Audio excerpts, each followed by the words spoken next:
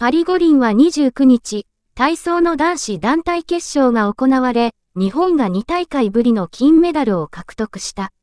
最終種目の鉄棒で橋本大輝が会心の演技。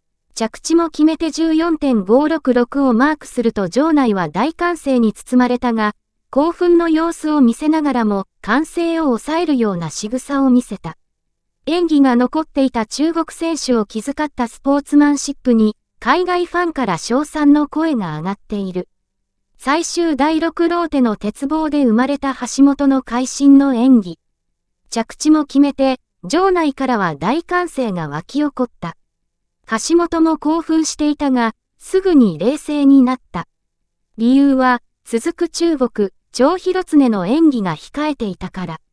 人差し指を口元に当て、静かにするように求めたほか、両腕で歓声を抑えるポーズも見せると、演技前の蝶と軽く抱擁した。結果、日本は2大会ぶりの金メダル。銀メダルは中国、銅メダルは米国となった。X、旧ツイッター上の日本人ファンは、対応も素敵、かっこええな、などと称賛があったが、海外ファンからも泣かない人って他にいる。